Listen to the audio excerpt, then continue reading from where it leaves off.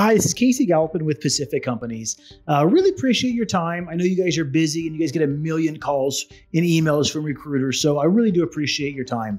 Uh, this opportunity is actually going to be a, an outpatient internal medicine opportunity with an immediate need. It's a, a permanent full time position, uh, hospital employed, and it's going to be 100% outpatient, no nights, no weekends, no call. This is going to be with one of the largest employers in the state at their main campus in downtown Dallas, Texas. 914 bed hospital, all the subspecialty support that you need, all the internal support that you need in the clinic. Money's going to be good. Patient panel is going to be great. A really a good opportunity. Uh, this position is going to go fast being in downtown Dallas. So give me a call, send me your CV when you get a chance. We can go over the specific details and see if it's the right position for you. Thanks. Bye.